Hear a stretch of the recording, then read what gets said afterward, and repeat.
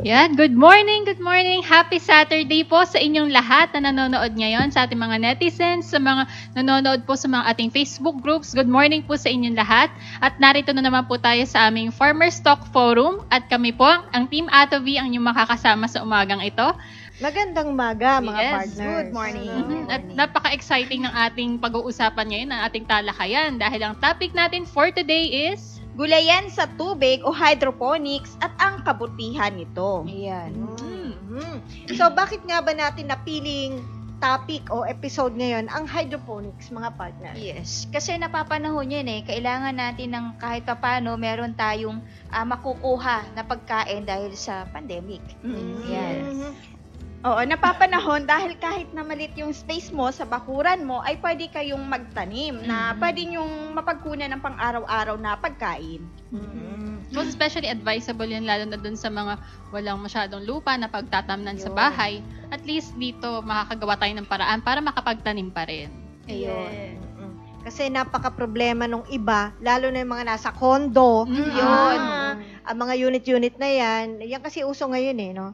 Ah, yung lupa. Mhm. At napakamahal naman kasi pag bumili ka ng sako-sakong lupa. Ay, eh, talaga mahal. At saka ito, ang kabutihan pa rin, isa pa rin ito, doon sa mga net, mga senior citizen. Kahit hindi, kumbaga hindi naman lahat ha. Oo. O doon sa mga medyo may kapansanan. Kasi hindi mo na kailangan magbungkal. So, Yes. tubig lang ang kailangan. At sigurado ka pa doon sa ipoproduce mong pagkain dahil Yun. alam mo kung ano mga pinakain mo, paano mo siya inalagaan. Yes. Okay? So, kailangan survival pa rin tayo ngayon at kailangan maging self-sufficient.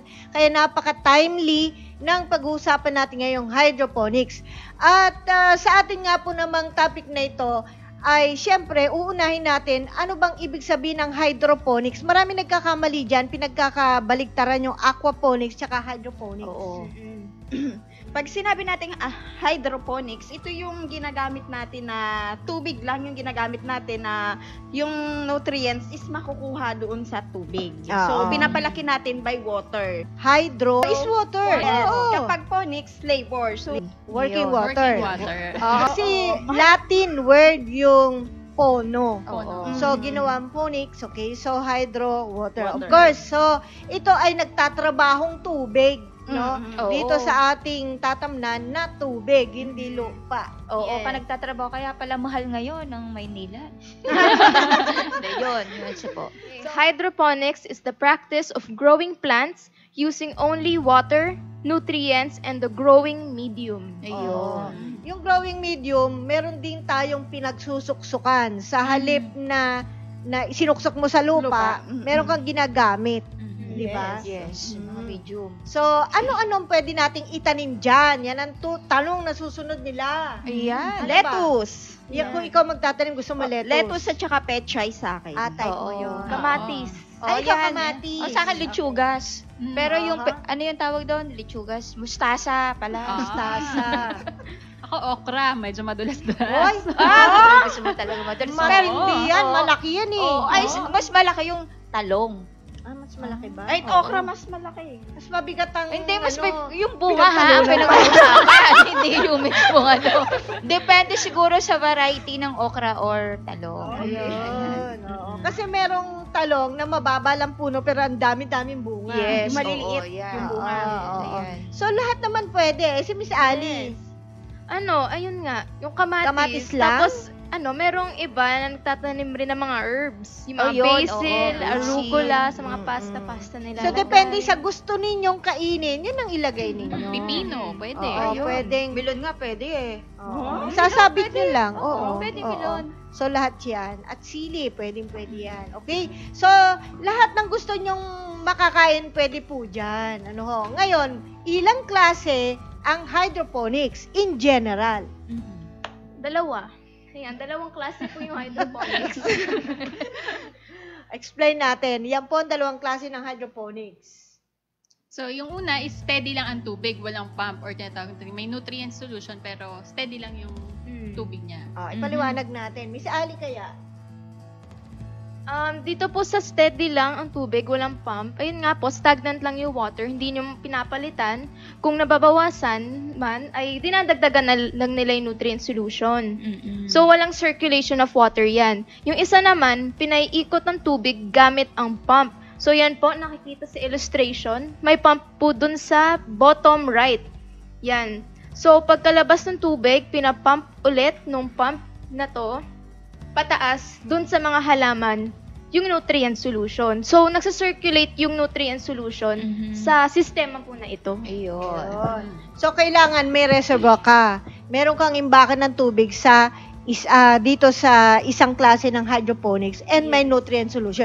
Ano ba yung nutrient solution? Ayan, ang yan, tinatanong. yun, yun naman yan. Kung kumbaga kung sa lupa tayo mag ah, ah, magtatanim, yan yung mga fertilizer na nilalagay Mm. natin. So, pag sa hydroponics, solution yan na nilalagay natin sa water. Ayan, may mga may nabibili sa mga Shopee, Lazada, or sa ibang mga ah, agricultural ah, store na mabibili kaagad na kaagad instant. Mhm. At ah, anuhin na lang natin mag ah, I-dilute na lang magde-dilute na lang natin sa, sa water, yon Yun na. Pwede ka nang mag-hydroponics. nutrient solution. So, ito yung mga nutrients na ilalagay natin sa tubig, nakakainin naman o pagkain naman ng tanim. Oo, Yes. yan. Ah, siguro, i-discuss pa natin fully yung ah, ah, nutrient solution, Miss Ana. Oh, Para yun. mas ano. So, yung sinabi ko nga kanina, may mga instant na tayo na bibiling solution. So, ah, ilalagay, didulute lang natin sa water. Pero, kung gusto nyo, pwede tayo magawa o pwede kayo magawa ng sarili nyong ah, solution. pwede. Oo. Okay. Ang ginagawa lang, three components of nutrient solution. Yan ang una, yung ating ah, NPK. Alam Mhm. naman natin yan. Ah, sodium, potassium, ah, Nitrogen. nitrogen. Oh, ayun, nitrogen, potassium, ah, Phosphorus. phosphorus. Ayan. So, yon may nabibili naman yan sa store or pwede rin kayong mag ah, online ah, shop. Pwede yan.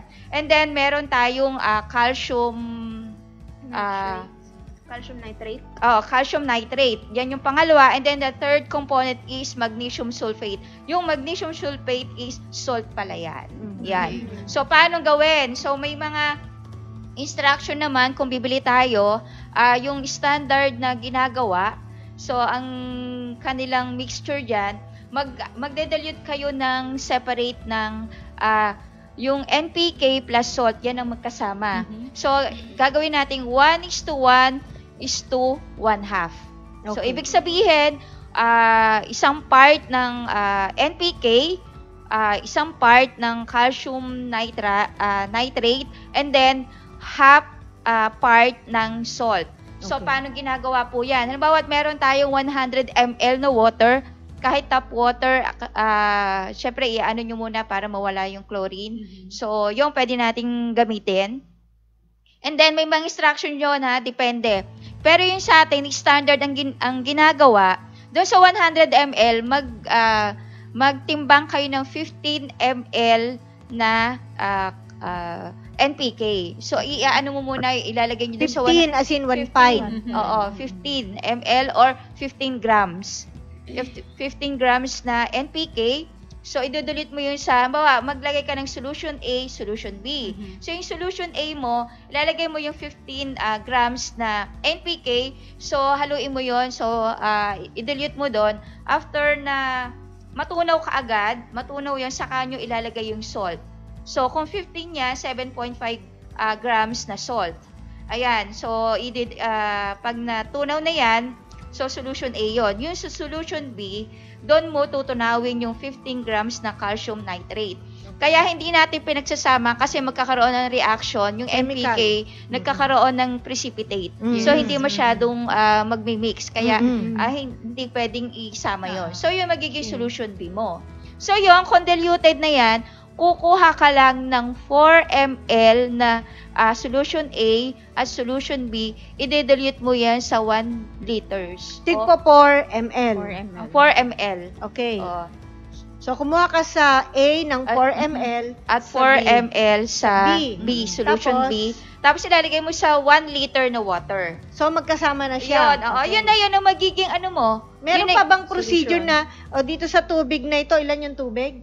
Ah, 100, ah, ah, 1, 1 liter. Okay, sa 1 liter na yun, meron pa bang kailangan protocol na, ah, mauna yung A, mauna yung B? Ah, depende yun sa inyo. Pwede naman gaw- kunin mo yung ano, solution B or tapos solution A. Pwede Ah, naman. kahit- Walang problema yun. Okay. Basta wag nyo lang pong ipagsasabay. So, Ayun. kailangan diluted. After 15 minutes, saka mo Tsaka may sunod yung solution, isa. ano, ah, B Mhm. or A, Okay. yung kung ano man ang nauna. Ayun, Okay. yun yung solution na yun, yun na magiging ano mo, nutrient solution mo for hydroponics Oh, mo. kita Oo. nyo naman, libre nang itinuro sa inyo yan. Oh, Hindi pero yan po ay bibili. depende sa brand na bibilihin yung mga ah, NPK or ah, ah, calcium nitrate. Ayan. So, depende po yan kasi may mga iba bang ating bang silang ah, ah, recommendation. Pero yung pong Mm. sinabi natin is standard yan. Ayun. At ah, kung sakali naman, ah, pwede naman kayo mag-experiment Mhm. ng ah, magbasa-basa kayo. Marami Mhm. pa pong ganyang sistema. So, you can do your own experiments. Yes. Ah, Okay? So, ano ba yung materials na ginagamit natin sa hydroponics bukod sa nutrient solution? Ano ang dapat meron pa sa hydroponics? Yung mga growing medium. Oh, Yun. ano ba yung ginagamit natin growing medium? Merong ah, coco pit, yung cocon wire, tapos minsan sponge, yung ginagamit Mhm. ng iba. Sa panlinis ng plato. May mga lava rock, Mhm. tapos mga pebbles. May gumagamit din ng pebbles. Okay. Oo, doon sa ating mga medium, um, sabi nga, ang importante maisip ninyo, yung nakakapag-store siya, nak- merong exchange of air, Oo. Yes. no, doon sa, hindi yung siksik. Mhm. Kailangan nakakatagos ang hangin para nakakahinga din yung ugat ninyo na kung sakali man, doon yung susuksok yung tanim ninyo. Mm, Yes, pero at the same time, nakaka-retain siya ng nutrient, Nutrients. solution. Yun, Yan, yun ang importante. Tama yun. Okay. So, bukod dyan, eh, ito pa po. Ayan. O, Yung kayo nang bahala Ayan, dyan. yung mga cups, Styro cups. Oo. Of course, ah, yan po yung mga minsan na sinasabi sa mga internet, ah, nutrient solution, Mhm. na merong mga micronutrients, merong macro. Mhm. Alright? Ayan. So, yan yung mga 20 macro and micronutrients na kailangan ng ating pananim. Okay? Yung sinabi naman ni Miss Ali, yan po yung ilang sample na pwede ninyong medium. Pag sinabi medium, yung pagsusuksukan ninyo sa halip na yung lupa. Yes. Oo.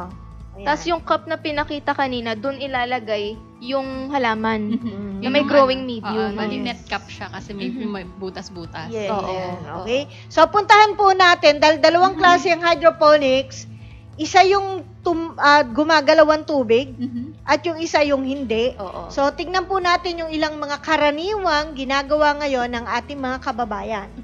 Ayan. Ayan, yung ating ano, first sample. Yan yung ah, bote lamang, Mhm. may tubig, no? Alam niyo, nakalimutan ko lang dalhin eh. Dadalhin ko yung Ay, aking oo. isang Ay, tanim. Oo, maganda, maganda sana. no? Oo, ah, pero yon ay hindi gulay. Ah, yon ay um, ornamental plant Mhm. na nakalubog lang sa tubig na Mhm. parang hugis bombilya yung base niya. Mhm. So, ang mga ugat niya ay nandun lang sa tubig. So, yun, yan po nakikita nyo, may mga ugat din na puti. Sample po yan ng isang hydroponic na hindi tumatakbo ang tubig. Stagnant lang. Mhm. Okay? Yes po, meron din namang mga gumagawa na iba, stagnant din yung ano, hindi din tumatakbo yung tubig. So, ang ginagamit nila dito yung mga recycle na natin na mga plastic bottles like 1.5, tapos styro cup. So, ang ginagawa nila, yung styro cup is binubutasan nila sa gilid ng soldering iron para yun nga para pumasok yung water solution doon. Tapos yung ating plastic 1.5 na Coke, so sinukat nila yung styro cup doon Mhm. sa pinakabibig, tapos hinati. Tapos paghati nila, yon sukat na yung ating yung ating styro cup. Tapos yun, lalagyan natin yun nung water solution. Mhm. Tapos doon natin stay yung kapag ka may tubo na. Ang ginagawa para tumubo yung halaman, hindi muna natin siya direct na ilalagay dun sa ano, sa 1.5 na coca. Ilalagay muna natin siya dun sa sponge. Doon natin siya patutubuin yung ating buto. So, hatiin natin yun. Yung sponge na yun, lalagyan natin ng butas sa gitna. Kung gusto natin tatlo or isa yung ating itatanim. So, ilalagay natin yung buto. Tapos, kukuha tayo ng isang lagayan like mga plate o kaya ay mga Basta mapaglalagyan nyo Ah. na may tubig, na may water solution doon. So, doon, ilalagay nyo yun. Kapag tumubo na siya, after 7 days na may tubo na, pwede nyo na siyang ilagay doon sa plastic bottle na 1.5. Okay. Yes. Yun.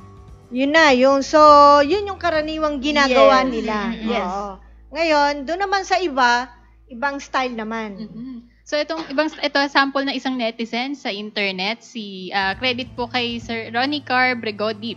So ito ito yung klase ng setup na pwede sa pang indoor. So makikita natin na ito yung pag medyo may budget budget ka na pang ah, Yan yung ginagawa nila. Mhm, Mhm. yung ginagawa nila. So, makikita natin, may four layers siya.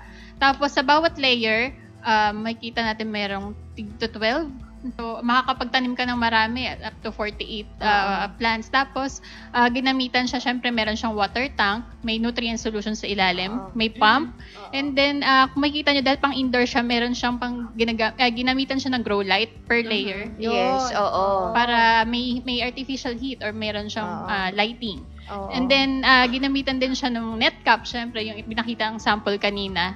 Ah, net caps, then syempre, yung mga growing medium, gumamit ng hydrotons. Ayun yung mga clay pebbles, yung Okay. nabanggit ni Miss Ali din kanina.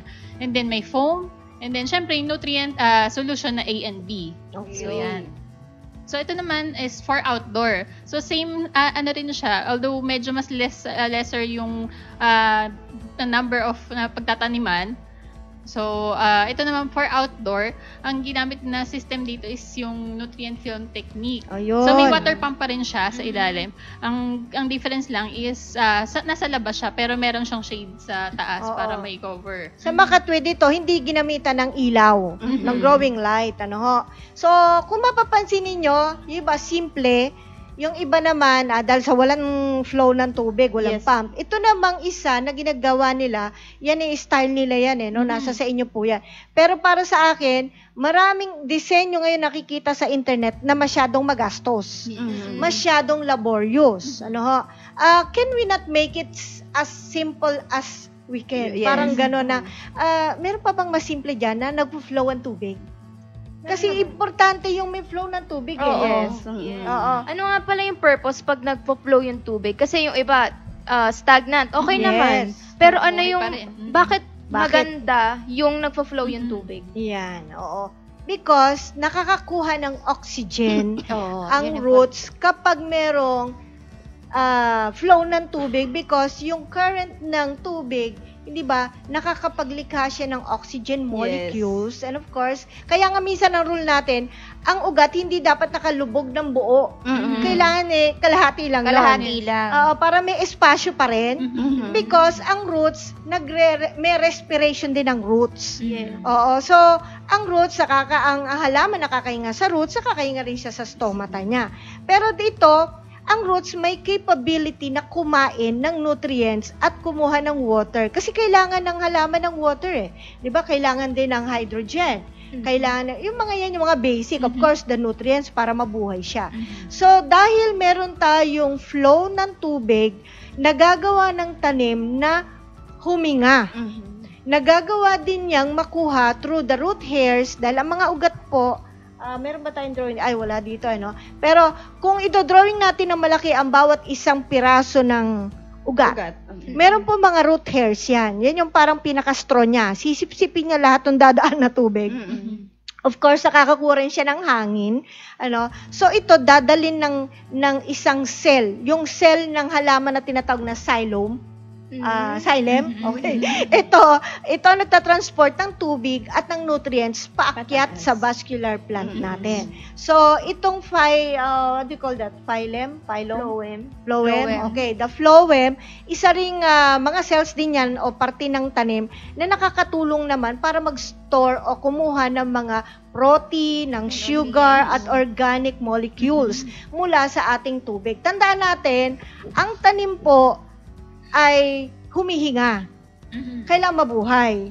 So, kung titignan nyo rin ang composition ng tanim natin, kahit ano po ang gusto nyo itanim dyan, 80 to 90% of that plant is composed of water. Mhm. Kaya importante na may flow ng tubig na nakakalikha din ng oxygen Mhm. molecules para makasurvive ang tanim. And we, you will Yes. supplement. Oh yes. Ito, ah, ganito naman ang tanong. Halimbawa, kasi nag-start pa lang ako, so gusto ko muna yung stagnant.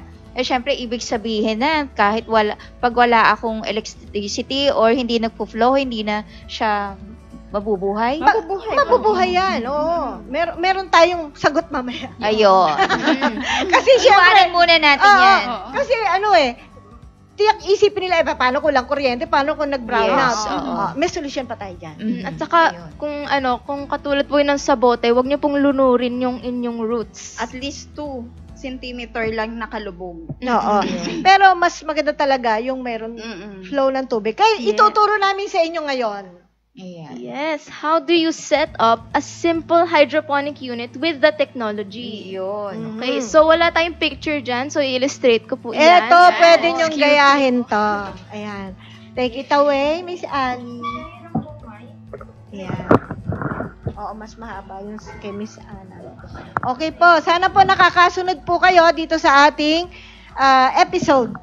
Eh, so yan po. So itong design po na ito ay isang vertical na design.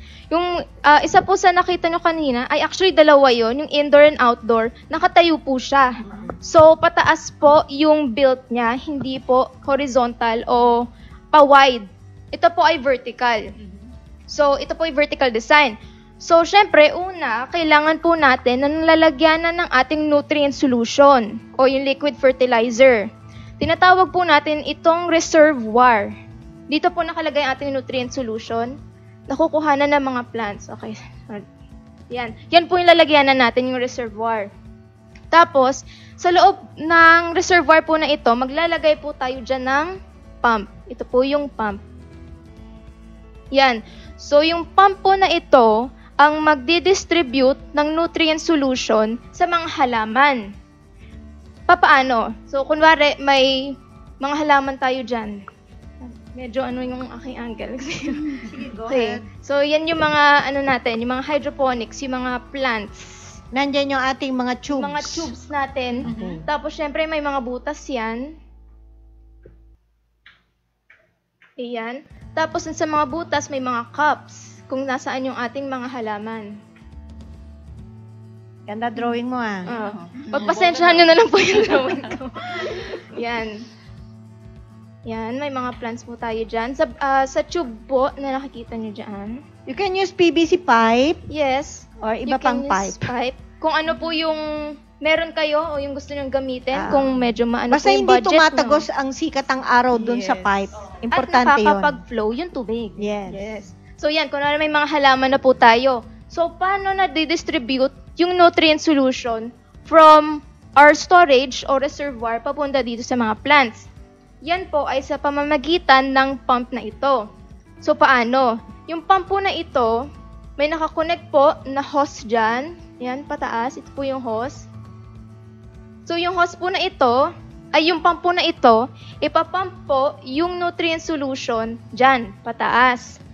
So ngayon, nakakonect po tong kabilang dulo ng hose sa isa pang pipe. Okay.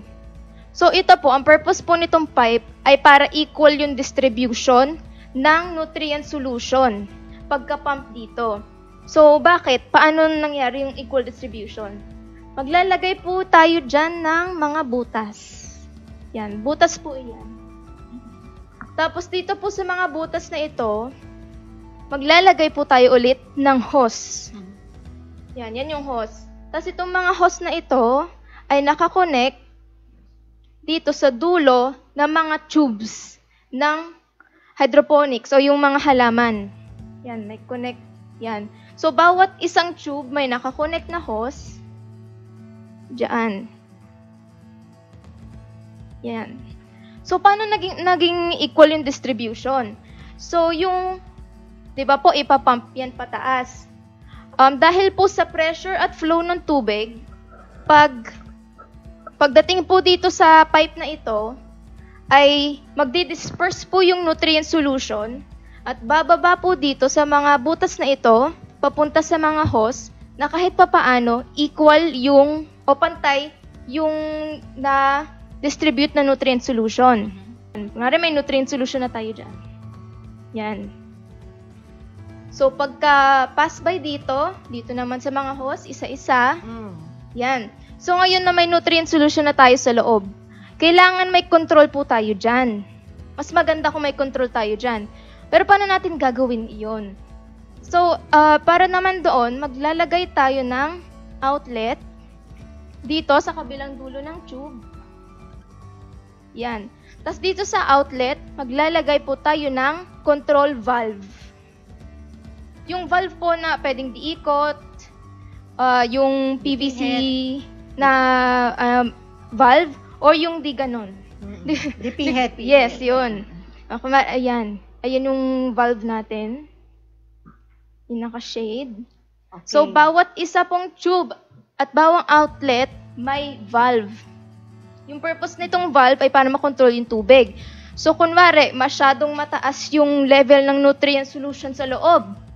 Pwede nyo pong luwagan tong valve na ito para mas madami yung lumabas dito sa outlet ng nutrient solution at mabawasan yung nutrient solution dito sa loob at bumaba yung level. Kung masyado naman pong mababa yung level ng nutrient solution, pwede nyo sikipan to, yung valve, para umunti yung lumalabas na nutrient solution sa outlet at maipon naman yung nutrient solution dito sa loob ng tube. Yan, so yan po. So sa mga outlet naman po na ito, pag lumalabas na po yung mga nutrient solution, i-connect po natin yan sa isa't isa.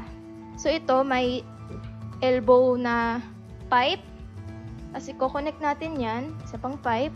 And connector, T-connector pipe dito sa Yan, baba, ah. sa Pakinggan nyo pangalawa. yan. T-connector. Parang letter T. Yan. Yan, so nakakonect sila. So yung mga nutrient solution na lumalabas sa bawat tube ay bumaba, baba- bumababa sila dito sa isang connection na to. So itong nasa pinakababa ay yung final na outlet. Yan. So pag lahat bumaba, dito na may ipon yung mga ah, nutrient solution na nilalabas. Tapos dito sa final na outlet, magko-connect tayo ulit ng hose. Tapos yung hose na ito, nakakonect pabalik sa ating pump. Yan. Yan yung hose. Yan. So pagkalabas, ibabalik sa reservoir sa ating pump. Tapos, ipapump ulit sa mga halaman. So umiikot-ikot lang po yan. Yan. So yan yung ating design. So hindi na na masyadong kailangan bantayan. Ah, nandiyan naman po, yung level na lang, syempre, nababawasan yung nutrient solution kasi ina-absorb nga ng mga plants. Pero yan po, pinasimple po namin para mas magaan yung pag-hydroponics nyo. At sure kayo na may enough na nakukuha yung mga halaman. Mhm. Mm. Meron rin po nag-hydroponics na ah, may sinasama po sila sa nutrient solution ah, para mas maganda po yung tubo ng kanilang mga halaman. Ito po yung ating technology.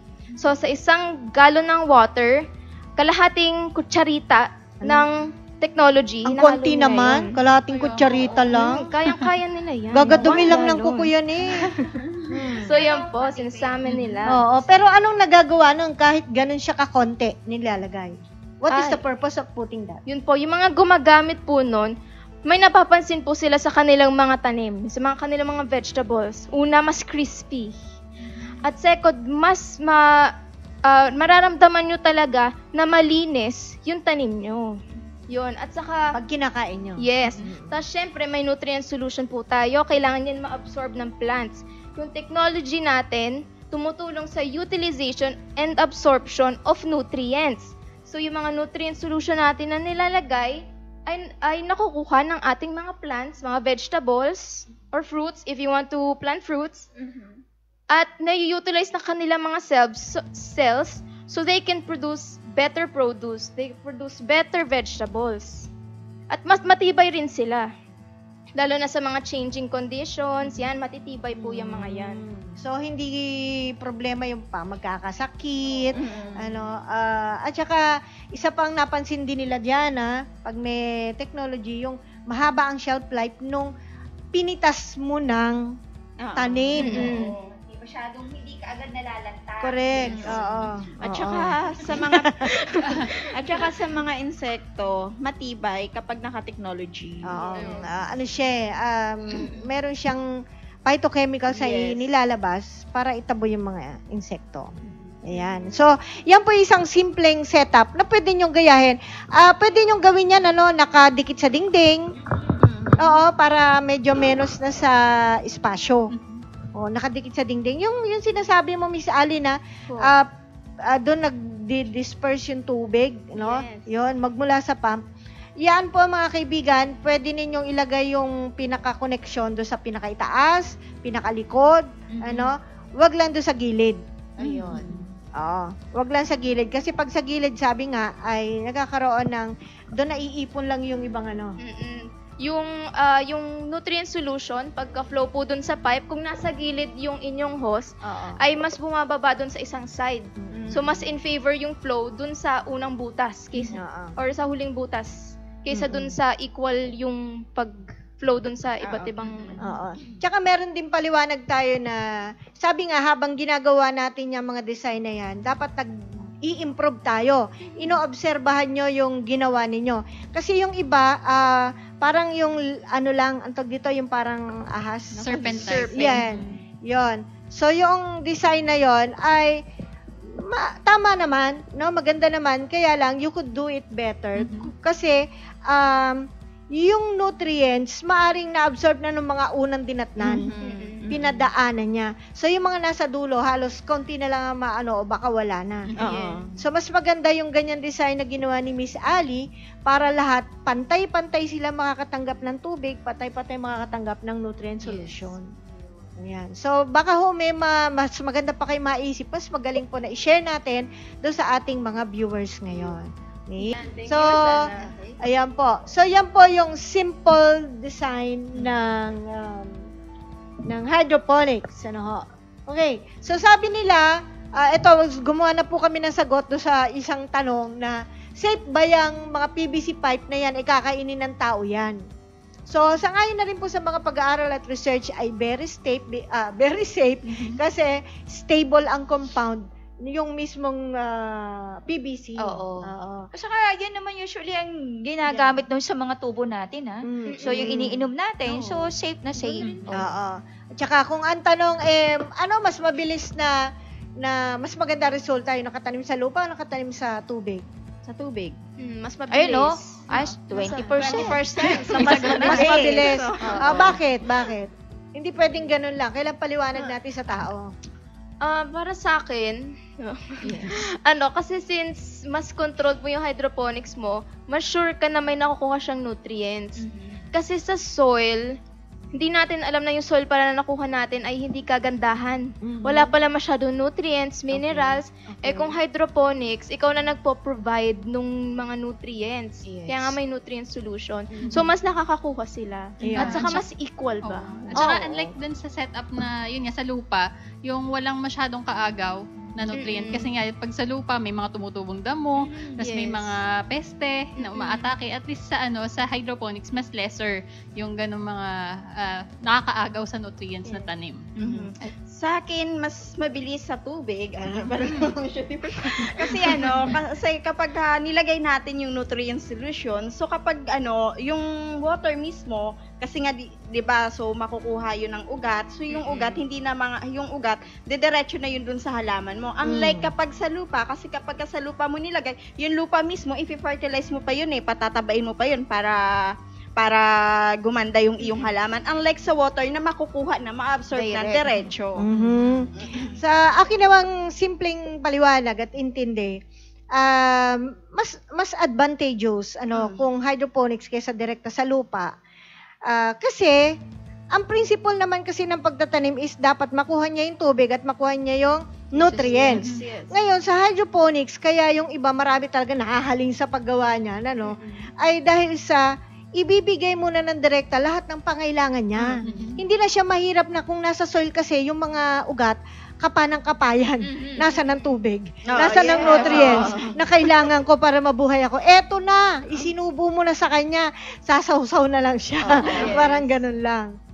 Eh, sa akin, ganun din naman eh. In overall talaga is ah, direct mo makukuha, makukuha ng roots yung nutrient. At saka hindi pa talaga pwede mong iwanan all throughout ng pag maganda yung solution mo.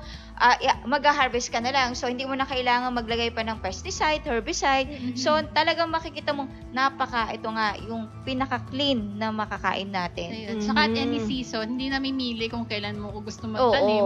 Kasi ano, hindi unlike sa lupa, pag nakakaranas ka ng tagtuyot, medyo ano, kawawa yung tanim mo. At Mm. least dito hindi nauubusan ng tubig. Mm, pag may tubig, constantly ah, oxygenated ang tubig. Mhm. O, 'di ba? Ang ang halaman ay nakakahinga. Yes. Ayan. So tandaan lang natin, ah, basic lang naman yan, parang biology lang. Mhm. Ang tanim nakakahinga sa stomata at sa roots.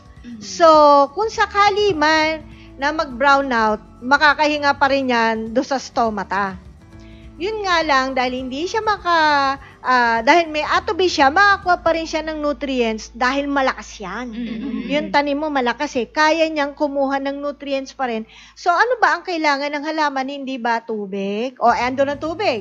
O, nutrients. Eh, nandun na din to, ang nutrients. So, makukuha niya yan. Ang sikat ng araw, andyan din naman. Kung wala kayo sa ah, outdoor, pwede niyong gawa ng paraan na Sa ilaw. indoor, Ano bang ilaw. ilaw ang ginagamit dyan? Ah, doon sa mga talagang ano, ah, medyo fanatic sa hydroponics at nasa mga kondo-kondo, may mga ilaw po talaga nabibili sa Shopee. Ang sasabihin niya yung UV light full spectrum ah, plant ah, greenhouse. May mga kanya-kanya yan eh. So may mga 25 or 45 watts. Depende yan kasi may may may fluorescent, may halogen, may halide, tapos may sodium. Mhm. So may kanya-kanya yan. Mas ah, alam po ng mga ah, At saka sa grupo ng mga Mabibili. hydroponics. oh, may Ayun, mga ayun, nire-recommenda mga sila, yan. yung mga lumens, lumens, oo, ang ganyan. alam nila ano, yan. So, oo. wag mag-alala. Oo. Kung sakali man po, meron din tayong kakilala na, alam niyo ba na hindi na bumili ng mga ganong klase ng ilaw? Kundi ordinaryong ilaw lang. Mhm. No? Kasi kahit sa halaman, yung alam niyo ba yung poinsettia? Oo. Kahit karaniwang ilaw, basta sukluban mo yon nagagawa niyang pikiin ng sikat ng araw. Talaga. So, yung pag mula sa berding daw niya, nagiging pula siya. Mhm. So, ganun din po.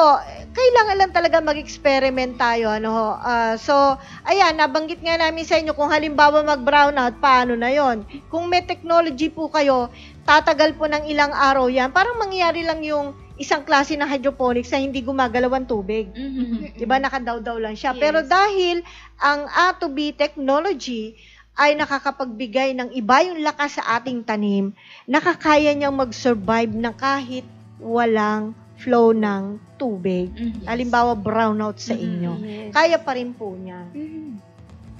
O yun. Oo. so, sabi nga, ah, kung bukas ang ating kaisipan sa mga bagong teknolohiya, mas makabubuti po tayong mag-adapt sa ganun para mas mapabuti yung ating ginagawa. Ngayon, sasabihin nila, "Ay, mahal ang kuryente. Mahal yung sa water pump. Mahal nga ba? Hindi naman. Di ba po bumili kayo ng water pump? Yes. At saka ginagamit din natin sa ating isda. Ayun. Hindi po Oo. siya mahal. Hindi Abangan po. ba nila yan kung paano? ano? Ah, mula sa hydroponics, gagawa tayo ng Oo. Para at least magandang naman, design. ano, maski tayo, nag-experiment po kami. Yan. Mm, nag-actual po kami. So, hindi po talaga yan magasto sa totoo lang po. Tapos yung, yan, yung isang tanong ng isa natin listener, ay safe bang kainin yung mga plants hydroponics? Of course, with the help of the technology, yung Yes. ano man masip-sip niyang hindi maganda, pag na-convert na ng tanim yan through the help of our technology, eh, ma-ex, Eh, mapa-flash out sa mga naman hindi maganda. Okay? Oh, at saka ang tanim naman may sariling ano yan eh. May sariling paraan para gumawa ng kanyang mga vitamins. Mhm. Kaya kahit anong tanim mo, meron. Mhm. Pero yung minerals na nakukuha nila, so lahat sila pare-pare ng vitamins yan. Pero yung halaman, iba-ibang minerals na nakukuha nila, depende sa pangailangan nila. Oh, yes, sa- sabi nga ng mga taga yung mga expert, yung mga plant breeder, ang sabi nila, ang plants, basta bata pa, yung seedlings pa lang, pag natutunan nila na sila ay doon lang, lalaki, mag-a-adapt ka agad sila. Mm. Yun. Mm. Kung may, May- sarili oh. talaga silang mechanism. Yes. Yes, so may nagtanong, ang nutrients ba ay applicable sa lahat ng type ng halaman? Yes. Ang pagkakaalam Okay. ko ha. Mm-mm. Mhm. So, ang nutrients na gagamitin ninyo ay maaari pong magdepende rin sa klase niya. Halimbawa Mm. lang to, halimbawa lang to, fruiting eh. ibang nutrients na kailangan ng fruiting at ng leafy. Yes. Okay. So, kailangan mo dito sa fruiting ng more sa potassium niyan. Yeah. Oo, kasi ang potassium nakakat at saka boron na kailangan niya. So, eh kung halimbawa lang po may tanim din akong leafy, may tanim akong fruiting, paano po 'yon? There's no harm kung lahat ng macro at micronutrients ay mailagay ninyo sa inyong nutrient solution dahil pakikinabangan naman yan ng tanim ninyo.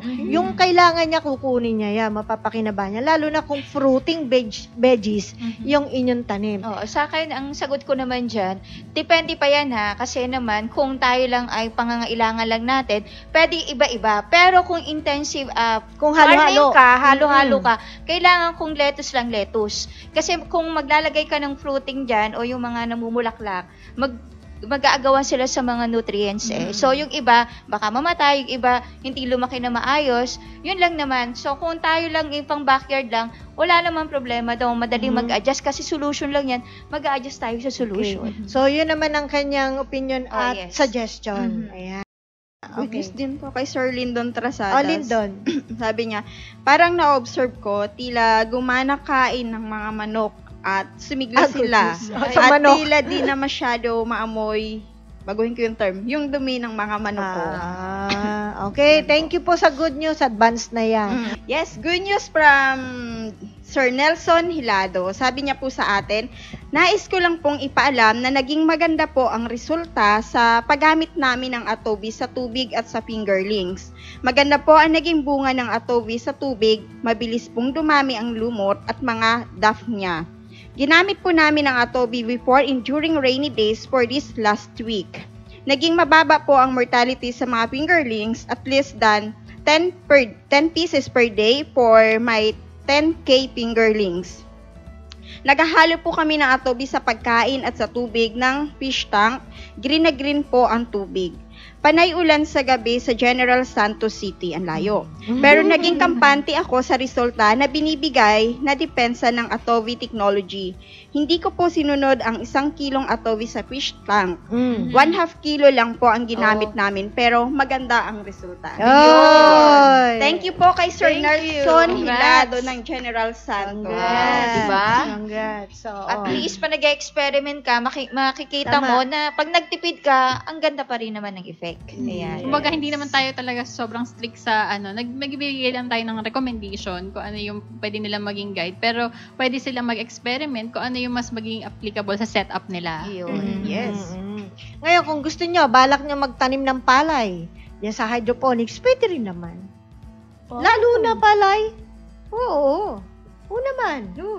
Oo. taas ang kilay nyo, ha?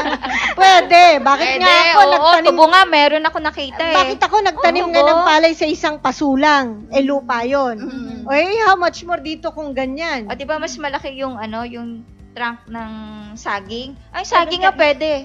Yes, Sa atin, pwede. pinagtatamnan. Oo, Oo, dahil may yun. tubig siya. Mm, pwede. Oo. Teka. Yun nga lang, mabilis Ano siya ba? mabulok. Ano ba ang pinakamalaki? Ano? Magtatry ako ng niyog. Ayun. Yun.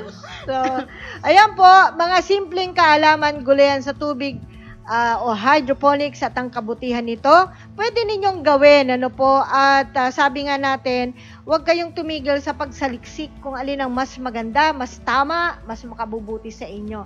Yung aming mga ideya po rito at mga opinion, eh opinion namin. Pwede rin po kayo magsagawa ng sarili nyong experiments and research and studies. Um, ang importante sa ngayon, kaya namin pinapaksa ito, is kailangan nating makapag-produce ang sarili nating pagkain sa ating pamilya na hindi na po tayo aasa masyado sa kamahalan ng bilhin Oo, ngayon. Grabe. At um, kung sakali man, baka may pera ka nga, wala ka namang mabili, so paano ka kakain? So kailan meron po tayong pagkain sa ating bakuran. Yes. Mhm. Okay, anything you would like to add pa, mga partners? Ayun pala, ah, halimbawa wala akong solution at meron lang ako dyan na pwede nating gawing fermented ah, fruit, Yes. ah, fruit. Yung Yung FPJ. Yes. Yan, Oo, yan. fruit juice. Si, si Fruit ano ha, yung actor, pero yung FPJ. Ayan po, yan ay na na-try na po ng ibang taga-university. Ah, actually, na nabasa ko yan sa may Summer University. So, ah, nag nag ah, experiment sila. Ang ginawa nila yung banana. yung mismong fruit na banana ginawa nilang FA ah, niyan, ah, juice. Oo. So naging maganda naman yung effect, halos ah, significantly ano, maganda yung naging effect doon sa hydroponic. So, kayo pwede kayo kahit hindi banana kasi ang banana kasi more on ah, mataas sa potassium. Potassium. So, and minerals and vitamins, Mm-mm. ayan. So, Mm-mm. hindi lang tayo restricted sa mga ganang ah, fruits. Pwedeng ka- kalabasa, Mm-hmm. guava, Mm-mm. pwede po yan. Ah, mag-experiment lang tayo pero magiging maganda if lalo nang sasamahan natin ng technology. Mhm. Yes. Ang kagandahan nitong hydroponics, mga partner, kung mapapansin ninyo, wala tayong ginamit na chemical na pesticide. Yes. Yun, yun ang kagandahan. Kaya Oo. safe na safe siyang kainin. mm So, ah, isang paraan yan para maging ah, healthy lalo tayo na tayo mismo mag-produce ng pagkain na alam natin kung anong gagamitin natin. Maraming maraming salamat po sa ginawa ninyong panonood. Kung sakali man po gusto niyo mag-share, please do it ah, sa pamagitan ng ating Facebook page. Ayan, kung may mga questions kayo or iba pang mga clarifications tungkol sa ayan, kung dito sa ating topic, eh, pwede po kayo mag-message sa aming Facebook page, Atovi Nanotechnology. Ayan, at kung may mga iba pang ah, gusto rin kayo mag ah, tumawag directly sa aming ah, office, ito po yung aming mga numbers. Sa Globe po is 0917-540-8887 and sa Smart, ah, 0939-917-2858. Ayan. And sa telephone number naman po, direct line is 8842-3003. Ayun. At saka itong mga Mm-hmm. ah, farmer stock natin, ina-upload po natin sa YouTube, YouTube. channel natin. Ayan. Saka abangan nyo, may mga pasabog. Ang mga Pasabog? pasabog, ah. Pasabog? pasabog. Na ibang mga latest video na Yes. talagang ma, Ah, Mga Diba? vlogs. Oo, mga Mga vlogs. vlogs. Oo, mga vloggers na itong mga kasama natin. Abangan nyo. So, abangan nyo po yan. Kaya, wag kayong, ah, wag kalimutang mag-subscribe. Subscribe. Oo. Yes. May pahabol po na sabi niya, good morning po, paano daw po simulan yung ating hydroponics. So, sir, pa panood po ulit yung ating discussion kanina. Pa-rewind na. Oo. Rewind na lang. meron po tayong pre- pre-send kanina si Miss Ali na disenyo na simple lang. Oo. Ah, importante dyan, may pambili po kayo ng konting PVC pipe. Oo. Oo. Pero kung gusto niyo naman na maging resourceful at may mga iba kayong materials na sa tingin yung gagana naman, pwede niyo pong i-experiment yon. Make your own Mm. design. Yes. Oo. And I would like to add nga pala na napansin ko lang do sa mga sa internet, Mm. yung mga nag-hydroponics, pansinin nyo yung tanim ninyo. Nagko-curl ang mga leaves. Mm-mm. Yes. Happy kayo, nag-harvest kayo, pero hindi nyo napapansin na bakit may lukot yung mga dahon. Yan ay indikasyon ng problema. So, ano-ano ang pwede nating ibigay na tip? Halimbawa lang po ito. Pwede kasi, kung isa-isain ko kasi haba tayo, no? Pero, in general, kapag po may curl, na, curl, ah, ano tawag yun? Sa- Kulot. Kulot, Kulot. yun. Hindi, hindi ano eh, no? So, kulot na mga, nangungulot na mga leaves, either merong nutrient na kailangan yan, nawala, Mm. nawala, hindi nyo ginamit. Ano? Alam mo, kadalasan dyan, micronutrient ang kulang dyan. Okay. Pangalawa, mari pong overfeeding naman. Mhm. Sobra naman. Mhm. Okay? Yung isa naman is mari po siyang ah, may sakit. May sakit siya at kaya siya nagkasakit kasi mahina ang immune system niya. Kaya nga yung technology nakakatulong po yan para hindi siya tablan ng mga ganong sakit, nagiging efficient siya dahil nakukuha niya yung mga nutrients doon sa tubig. Yes. Yun. Kaya parang seedlings pa lang, lagyan na natin ng technology. Oo, Yan. binababad na agad yan. Yes. Para So- rin maganda yung germination rate. Yun. Tama po yon. So ano pa ang inyong tanong? Pwede nyo kaming tawagan o i-text? And then, syempre, meron tayong ah, Facebook, Facebook group. group. Yes, it's called Livestock Agri-Aqua Troubleshooters Organization or LATO. Pwede po kayo mag-join dyan kung may mga problema po kayo, concerns, pwede po kayo mag-post dyan. Tapos may community po tayong farmers na willing po tumulong sa inyo. And of course, kung may mga gusto po kayong ibenta na produce or gusto po ah, may gusto po kayong bilhin, tapos hinahanap nyo po, pwede rin po kayo mag-post doon and may tutulong po sa inyo. Ayan. Maraming maraming salamat po sa ginawa ninyong panonood sa Farmers Talk Forum. Yes. Ayan. So, ah antabayanan nyo po ulit kami sa next Saturday. Kaya always remember, Team Atobe will continue to educate Share and inspire others. Bye-bye! Noon ay mahirap mag-alaga at kumita. Ubus pa ang oras sa maghapong paggawa. Alagang hayop at pananim. Pilit na pinararami kahit madalas malugi. Kunwari ayos lang masaklap ng pare ko sa buhay na ito. Hindi na nga kumikita, ibig pang ipasara. Kami mabaho raw, maingay at malangaw. Sumbong ng kapitbahay na nagtungo sa barangay.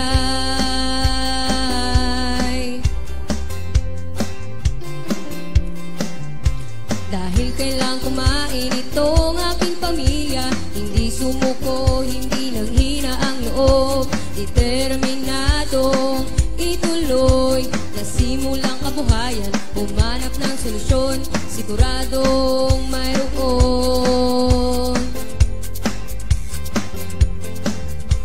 Tanong dito, tanong noon. Ako'y hilong talilong na. Pati internet pinagod sa katatanong Hanggang sa matuntun mga nagsiyasenso Tanong ko sa kanila paanong ginawa nyo? Oh, oh.